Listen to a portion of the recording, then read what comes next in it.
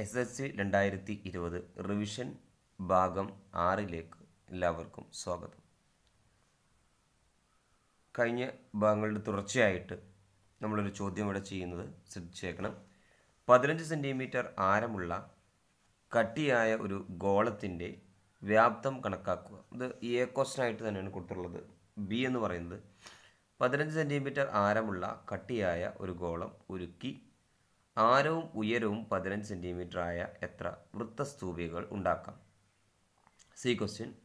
ആരം പതിനഞ്ച് സെന്റിമീറ്ററും ഉയരം മുപ്പത് സെന്റിമീറ്ററും ആയ കട്ടിയായ ഒരു വൃത്തസ്തൂപിക ഉരുക്കി കട്ടിയായ ഒരു അർദ്ധഗോളം ഉണ്ടാക്കുന്നു. ഒരു അർദ്ധഗോളം ഉണ്ടാക്കുന്നു. അർദ്ധഗോളത്തിന്റെ ആരം എത്ര?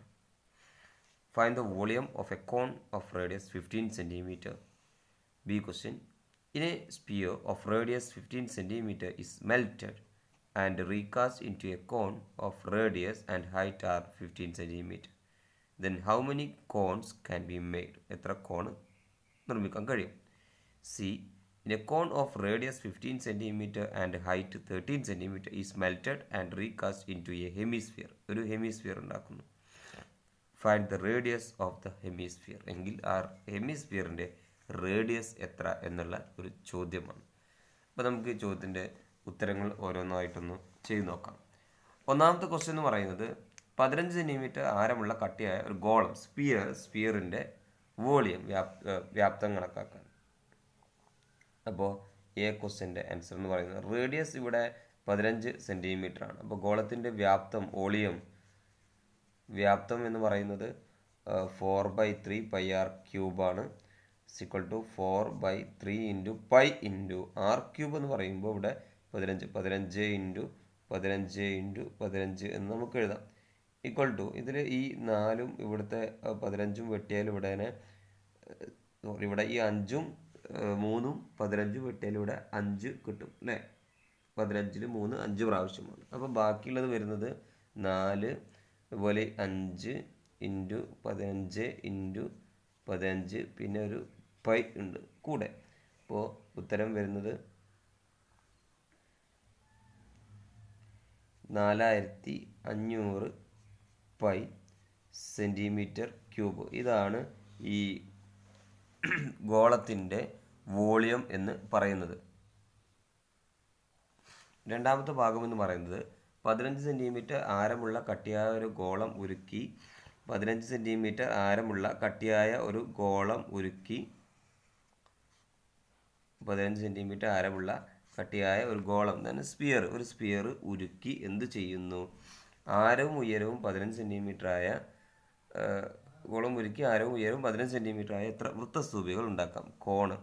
അപ്പോൾ ഇത് ഉരുക്കിയിട്ട് എന്ത് ചെയ്യുന്നു? ഒരു കോൺ ഉണ്ടാക്കുന്നു.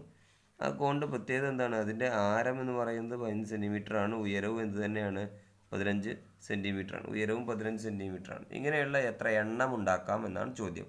അപ്പോൾ എനിക്ക് ശ്രദ്ധിച്ച് കേൾക്കണം. ഇത് ഉരുക്കിയിട്ട് ഇങ്ങനത്തെ ഒരെണ്ണം മാത്രം ഉണ്ടാക്കുകയാണെങ്കിൽ രണ്ടിന്റെയും വ്യാപ്തം എന്തായിരിക്കും? തുല്യമായിരിക്കും. നമുക്കറിയാം ഇത് ഉരുക്കി ഇത് ഉണ്ടാക്കുകയാണെങ്കിൽ രണ്ടിന്റെയും വ്യാപ്തം എന്തായിരിക്കും? തുല്യമായിരിക്കും. പക്ഷെ ഇവിടെ ചോദി ചോദ്യം ചോദിച്ചിട്ടുള്ളത് ഇത് ഉരുക്കി മെൽറ്റ് ചെയ്തിട്ട് ഇങ്ങനത്തെ എത്ര എണ്ണം ഉണ്ടാക്കാമെന്നാണ്. അപ്പോൾ അങ്ങനെ ചോദ്യം വരുമ്പോൾ നിങ്ങൾ എണ്ണം ഈക്വൽ ടു എന്ന് പറയുന്ന രീതിയിൽ അത് എഴുതുക. എണ്ണം ഈക്വൽ ടു അല്ലേ? അപ്പോൾ എണ്ണം നമ്പർ ഓഫ് എന്ന് പറയുന്നത് എത്ര എണ്ണം ഉണ്ടാക്കാൻ പറ്റും? ഇപ്പോൾ എണ്ണം ഈക്വൽ ടു എത്ര എണ്ണം ഉണ്ടാക്കാൻ കഴിയുമെന്ന് ചോദിച്ചാൽ ഇതിന്റെ വ്യാപ്തത്തെ ഇതിന്റെ വ്യാപ്തം കൊണ്ട് എന്ത് ചെയ്യുക? ഹരിക്കുക. ഇതാണല്ലോ ഏറ്റവും വലിയത്. ഇതല്ലേ ഉരുക്കുന്നത് അല്ലേ? അപ്പോൾ ഇതിന്റെ വ്യാപ്തത്തെ വോളിയത്തെ ഇതിന്റെ വോളിയം കൊണ്ട് എന്ത് ചെയ്താൽ മതി? ഹരിച്ചാൽ നിങ്ങൾക്ക് എണ്ണം കിട്ടും. ഇതിന്റെ വോളിയം നമ്മൾ എങ്ങനെയാണ് കാണുക?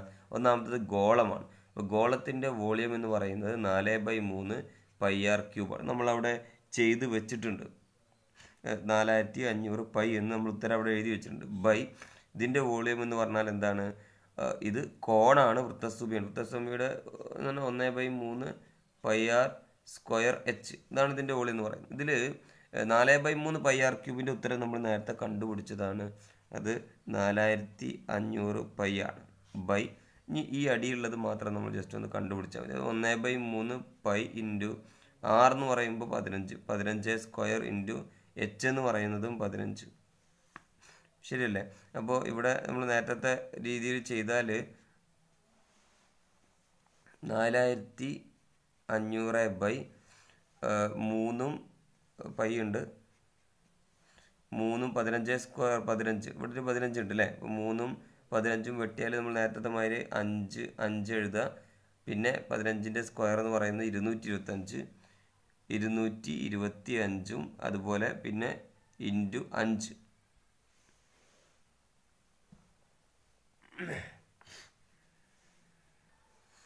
അപ്പോൾ ഇവിടെ ലഭിക്കുന്നത് ആയിരത്തി ഒരുന്നൂറ്റി ഇരുപത്തി അഞ്ച് പൈ ആണ്.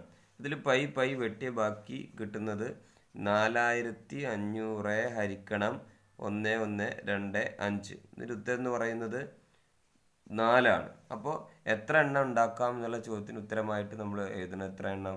നാലെണ്ണം ഉണ്ടാക്കാം. മൂന്നാമത്തെ ക്വസ്റ്റ്യൻ സി സി ക്വസ്റ്റ്യൻ ആയിട്ട് ഇതിൽ പറയുന്നത് in a cone of radius fifteen centimetre and height thirteen centimetre melted and recast into a hemisphere find the radius of the hemisphere അതായത് ആരം പതിനഞ്ച് സെന്റിമീറ്റർ ഉയരം മുപ്പത് സെന്റിമീറ്റർ കട്ടിയായ ഒരു വൃത്തസ്തൂപിക. ആരം പതിനഞ്ച് സെന്റിമീറ്ററും ഉയരം മുപ്പത് സെന്റിമീറ്ററും ആയിട്ടുള്ള ഒരു വൃത്തസ്തൂപിക ഉണ്ട് ഈ വൃത്തസ്തൂപിക എന്ത് ചെയ്യുന്നു? ഉരുക്കുന്നു. എന്നിട്ട് എന്ത് ചെയ്യുന്നു? ഒരു അർദ്ധഗോളം ഉണ്ടാക്കുന്നു. ഒരു അർദ്ധഗോളം ഉണ്ടാക്കുന്നു. ഒറ്റ അർദ്ധഗോളം. ഒരു അർദ്ധഗോളം ഉണ്ടാക്കുന്നു എന്നാണ് പറഞ്ഞത് ചോദ്യം ശരിക്കും വായിച്ച് നോക്കിയിട്ട് വേണം ഉത്തരം എഴുതാൻ. ഒരു അർദ്ധഗോളം ഉണ്ടാക്കുന്നു. അപ്പോൾ ഇത് ഉരുക്കിയിട്ട് ഇതുണ്ടാക്കുമ്പോൾ ഇതിന്റെ രണ്ടിന്റെയും വ്യാപ്തം എന്തായിരിക്കും? തുല്യമായിരിക്കും. ഇതുരുക്കി ഇങ്ങനത്തെ എത്ര എണ്ണം ഉണ്ടാക്കാമെന്ന് ചോദിച്ചാലോ? ഇതിന്റെ വ്യാപ്തത്തെ ഇതിന്റെ വ്യാപ്തം കൊണ്ട് ഹരിച്ചാൽ എണ്ണം കിട്ടും. ഇത് രണ്ടും ഇത് ഉരുക്കി ഇതുണ്ടാക്കുന്നു എന്ന് പറഞ്ഞാൽ രണ്ടിനെയും വ്യാപ്തം എന്തായിരിക്കും? തുല്യമായിരിക്കും. അപ്പോൾ ഇതിന്റെ റേഡിയസ് കണ്ടുപിടിക്കാനാണ് നമുക്ക് പറഞ്ഞിട്ടുള്ളത്. അപ്പോൾ ഇതിന്റെ വ്യാപ്തം എന്ന് പറയുന്നത് ഒന്ന് ബൈ മൂന്ന് pi r square h equal to ഇതിന്റെ വ്യാപ്തം അല്ലേ? ഇതിന്റെ വ്യാപ്തം തുല്യമാണെന്ന് പറയുന്നത് ഇതിന്റെ വ്യാപ്തം എന്ന് പറയുന്നത് എന്താണ്?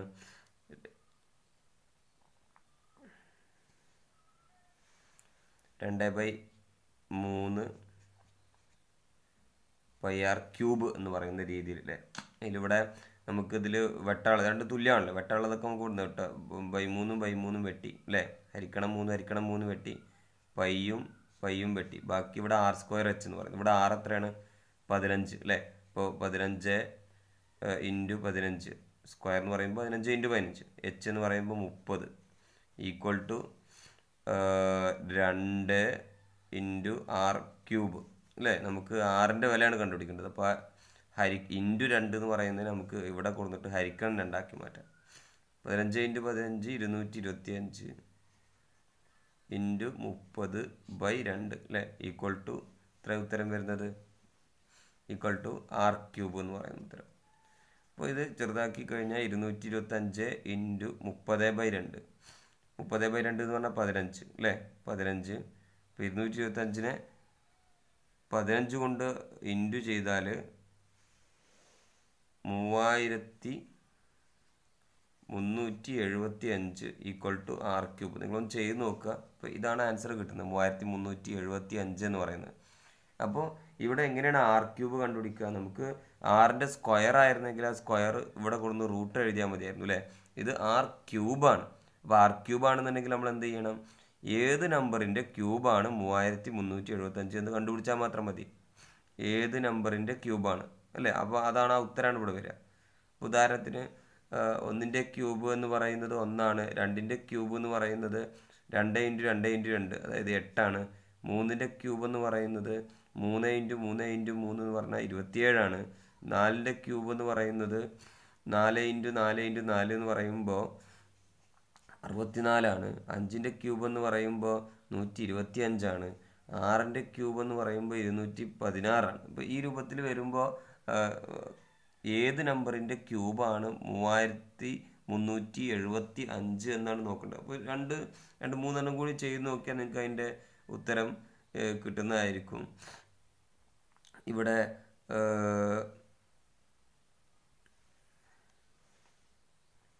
ഇപ്പോൾ നമുക്ക് ഇവിടെ അവസാനത്തെ നമ്പർ അഞ്ച് വരുന്ന തരത്തിലാണ്. അപ്പോൾ മൂവായിരത്തി മുന്നൂറ്റി എഴുപത്തഞ്ച് എന്ന് പറയുമ്പോൾ പത്തിന്റെ ക്യൂബ് എന്ന് പറയുമ്പോൾ അല്ലേ? പത്തിന്റെ ക്യൂബ് എന്ന് പറയുമ്പോൾ പത്ത് ഇന്റു പത്ത് ഇന്റു പത്ത് എന്ന് പറഞ്ഞാൽ ആയിരം ആയില്ലേ? അപ്പോൾ പത്തിനേക്കാളും കൂടുതലാണ് ഇത് വരുന്നത്. അപ്പോൾ ശരിക്ക് പതിനഞ്ചിന്റെ ക്യൂബ് എന്ന് പറയുമ്പോൾ പതിനഞ്ചിന്റെ അവസാന നമ്പർ അഞ്ചാണല്ലോ. അപ്പോൾ പതിനഞ്ചിന്റെ ക്യൂബായിരിക്കും ഇത്. അപ്പോൾ പതിനഞ്ചിന്റെ ക്യൂബാണ് പതിനഞ്ച് ക്യൂബാണ് എന്ത്? മൂന്ന് മൂന്ന് ഏഴ് അഞ്ച് എന്ന് പറയുന്നത്. അങ്ങനെയാണെങ്കിൽ ഇവിടെ ആ റേഡിയസ് എന്ന് പറയുന്നത് എത്രയായിരിക്കും? പതിനഞ്ച് സെന്റിമീറ്റർ ആയിരിക്കും വരുന്നത്. അതിൽ അടുത്തൊരു ചോദ്യം നമുക്ക് നോക്കാം. ഒരു സമരസ്തൂപികയുടെ പാത ചുറ്റളവ് എഴുപത്തിരണ്ട് സെന്റിമീറ്റർ വ്യാപ്തം ആയിരത്തി ഇരുന്നൂറ്റി തൊണ്ണൂറ്റി ആറ് സെന്റിമീറ്റർ ക്യൂബാണ് എങ്കിൽ പാതവക്കിന്റെ നീളം എത്രയാണ്? ബി സ്തൂപികയുടെ ഉന്നതി എത്രയാണ്? സ്തൂപികയുടെ പാർശ്വതല വരപ്പളവ് എത്രയാണ്? In a square pyramid the base perimeter is seventy two centimetre its volume is one two nine six centimetre cube A find the length of its base edge B find the height C find the lateral അപ്പോൾ ഈ ഒരു ചോദ്യം നമുക്ക് ചെയ്തു. സമരസ്തൂപികയുടെ പാദ ചുറ്റളവ് എന്ന് പറയുമ്പോൾ എന്താണ് വരിക? സമചതുര സ്തൂപികയുടെ പാദം എന്ന് പറയുന്നത് എന്ത് ആകൃതിയിലാണ്? സമചതുരം സ്ക്വയറിന്റെ ആകൃതിയിലാണ് വരിക. അതിന്റെ ഈ ബേസിന്റെ എഡ്ജ് പാ വക്കിനെ നമ്മൾ പാദവക്കിനെ എ എന്നാ പറയാം. അപ്പോൾ അതിന്റെ ചുറ്റളവ് എന്ന് പറഞ്ഞാൽ എന്താണ്? നാല് എ. ശരിയല്ലേ? A a a. ഇപ്പം നാല് എ ആണ് ചുറ്റളവ് ബേസ് പെരിമീറ്റർ എന്ന് പറയാം. അപ്പോൾ നാല് എ സമം എഴുപത്തിരണ്ടാണ് അപ്പോൾ എ ഈക്വൽ ടു എഴുപത്തിരണ്ട് ബൈ നാല് എന്ന് പറയുന്ന ഉത്തരം കിട്ടും എഴുപത്തിരണ്ട് ഹരിക്കണം നാല്. അപ്പോൾ നമുക്ക് ഉത്തരം കിട്ടുന്നത് പതിനെട്ടാണ്. പതിനെട്ട്. അപ്പോൾ എഴുപത്തിരണ്ടിനെ നാല് കൊണ്ട് ഹരിച്ചാൽ പതിനെട്ട് കിട്ടുന്നു എന്ന് പറഞ്ഞാൽ ഇവിടെ എ എന്ത് കിട്ടി? പതിനെട്ട് കിട്ടി. അപ്പോൾ ഒന്നാമത്തതിന്റെ ഉത്തരം എന്ന് പറയുന്നത് ബേസ് എഡ്ജ് അല്ലെങ്കിൽ പാതവക്കിന്റെ നീളം എന്ന് പറയുന്നത് പതിനെട്ട് സെന്റിമീറ്റർ പാതവക്കിന്റെ നീളം എന്ന് പറയുന്നത് പതിനെട്ട് സെന്റിമീറ്റർ ബേസ് എഡ്ജ് പതിനെട്ട് സെന്റിമീറ്റർ പിന്നെ അടുത്തത് സ്തൂപികയുടെ ഉയരം എത്ര? ആ ഉയരം നമുക്ക് കണ്ടുപിടിക്കുന്നത് ഇപ്പോൾ ഈ വ്യാപ്തത്തിൽ നിന്നാണ്. വ്യാപ്തം എന്ന് പറയുന്നത് ആയിരത്തി ഇരുന്നൂറ്റി തൊണ്ണൂറ്റാറാണ്. എന്തിന്റെ വ്യാപ്തമാണ് ഇവിടെ തന്നിട്ടുള്ളത്? സ്തൂപികയുടെ സമചര സ്തൂപികയുടെ സ്ക്വയർ പിരമിഡിന്റെ വ്യാപ്തമാണ്. അപ്പോൾ ബി ക്വസ്റ്റൻ ആയിട്ട് നമ്മൾ കണ്ടുപിടിക്കാം. സമര സ്തൂപികയുടെ വ്യാപ്തം എന്ന് പറയുന്നത് എങ്ങനെയാണ്? ഒന്ന് ബൈ മൂന്ന് എ സ്ക്വയർ എച്ച് ആണ്. അത് എത്രയാണെന്ന് പറഞ്ഞു ആയിരത്തി ഇരുന്നൂറ്റി തൊണ്ണൂറ്റാറിന് ഇതിൽ ഈ എ എന്ന് പറയുന്നത് പതിനെട്ട് കൊടുത്താൽ മതി ഇവിടെ. അപ്പോൾ ഒന്ന് ബൈ മൂന്ന് ഇന്റു എ സ്ക്വയർ എന്ന് പറയുമ്പോൾ പതിനെട്ട് ഇന്റു പതിനെട്ട് into h equal to one two nine six അതിൽ പതിനെട്ടും മൂന്നും തമ്മിൽ വെട്ടിക്കഴിഞ്ഞാൽ ഇവിടെ ആറ് നമുക്ക് എഴുതാം. ആറും ഇവിടെ മൂന്നും പോയി അപ്പോൾ ആറ്. അപ്പോൾ ബാക്കിയുള്ളത് ആറ് ഇന്റു ആറ് ഇന്റു പതിനെട്ട് എന്ന് പറയുന്ന ഒരു സംഭവം. നൂറ്റെട്ട് നൂറ്റെട്ട് ആറ് ഇന്റു പതിനെട്ട് നൂറ്റെട്ട് into h equal to one two nine six. ഇതിൽ നിന്ന് എച്ച് കണ്ടുപിടിക്കാൻ one two nine six by one nought eight one two nine six. One two nine six divide by one nought eight എന്ന് പറയുന്നത് ഇത് ചെയ്ത് നോക്കിക്കഴിഞ്ഞാൽ കറക്റ്റായിട്ട് എന്ത് കിട്ടുന്നുണ്ട്? പന്ത്രണ്ട് കിട്ടുന്നു. അപ്പോൾ ഹൈറ്റ് എന്ന് പറയുന്നത് ഇവിടെ തന്നെ പന്ത്രണ്ടാണ്. ഇനി അതിന് ശേഷം എന്ന് പറയുന്നത് സി ക്വസ്റ്റ്യൻ എന്ന് പറയുന്നത് സുബികയുടെ പാർശ്വതല പരപ്പളവ് അല്ലെങ്കിൽ ലാറ്ററൽ സർഫസ് ഏരിയ എന്ന് പറയുന്നത്. അപ്പോൾ ഇതിന്റെ lateral surface area L S A എന്ന് പറയുന്നത് ടു എ എൽ ആണ്. ടു എ എൽ നിങ്ങൾ പഠിച്ചിട്ടുണ്ടാവും ടു എ എൽ എന്ന് പറയുന്നത്. അപ്പോൾ ടു എ എൽ എൽ നമ്മൾ കണ്ടുപിടിക്കണം. അല്ലേ? എൽ കണ്ടുപിടിക്കണമെങ്കിൽ ഏതാണ് ചെയ്യേണ്ടത്? L h a by two കഴിഞ്ഞ ക്ലാസ്സുകളിൽ നമ്മൾ ചർച്ച ചെയ്താണ് l h a by two എന്ന് പറയുന്നത്. അപ്പോൾ ഇതിൽ l കണ്ടുപിടിക്കണമെങ്കിൽ l square equal to h square plus a by two whole square equal to h എന്ന് പറയുമ്പോൾ പന്ത്രണ്ട്. പന്ത്രണ്ട് square plus a by two എന്ന് പറയുമ്പോൾ എ പതിനെട്ടാണ്. പതിനെട്ടിന്റെ പകുതി എന്ന് പറയുമ്പോൾ ഒമ്പത്. ഒമ്പത് സ്ക്വയർ എന്ന് പറയും. അല്ലേ? നൂറ്റി നാൽപ്പത്തി നാല് പ്ലസ് എൺപത്തി ഒന്ന് നൂറ്റി നാൽപ്പത്തിനാല് പ്ലസ് എൺപത്തി ഒന്ന് എന്ന് പറയുമ്പോൾ ആൻസർ ഇരുന്നൂറ്റി ഇരുപത്തഞ്ചാണ് അപ്പോൾ എൽ ഈക്വൽ ടു റൂട്ട് ഇരുന്നൂറ്റി ഇരുപത്തി അഞ്ച് ഈക്വൽ ടു റൂട്ട് പതിനഞ്ച് എന്ന് കിട്ടും. അപ്പോൾ ആ പതിനഞ്ച് ഇവിടെ കൊടുത്തിട്ട് നമുക്ക് എന്ത് ചെയ്യാം? ചെയ്യാം. അപ്പോൾ ടു ഇന്റു എ എന്ന് പറയുന്നത് പതിനെട്ടാണ് ഇന്റു പതിനഞ്ച്. ഈക്വൽ ടു രണ്ട് ഇന്റു പതിനെട്ട് ഇന്റു അല്ലേ പതിനെട്ട് ഇന്റു പതിനഞ്ച്. രണ്ട് ഇന്റു പതിനഞ്ച് എന്ന് പറഞ്ഞാൽ മുപ്പത്. ഇന്റു പതിനെട്ട് പറഞ്ഞാൽ അഞ്ഞൂറ്റി നാൽപ്പതാണ് സെന്റിമീറ്റർ സ്ക്വയർ അപ്പോൾ നിങ്ങളും കൂടി ഒന്ന് ചെക്ക് ചെയ്യണം. മൾട്ടിപ്പിൾ ചെയ്തിട്ട് സ്പീഡിൽ മൾട്ടിപ്പിൾ ചെയ്യുന്നതാണ്. അപ്പോൾ ജസ്റ്റ് ചെക്ക് ചെയ്യണം എഴുതുന്നത് അപ്പോൾ ഈ രണ്ട് ക്വസ്റ്റ്യൻസ് വളരെ ഇമ്പോർട്ടന്റ് ആണ്.